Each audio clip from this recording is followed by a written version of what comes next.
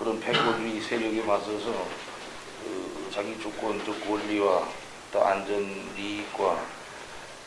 이걸 어, 수호하기 위해서 정의 위협을 벌리고 있는데 우리는 시정일관 어, 러시아 정부 그리고 당신께서 취하시는 모든 조치에 전적인 전 무조건적인 지지를 표명해 왔고 앞으로도 언제나 어, 반전 사주 전선에서 언제나 러시아와 함께 있을 것임을 Насилие философ, хамуран Про сервис э, уделять такое большое внимание.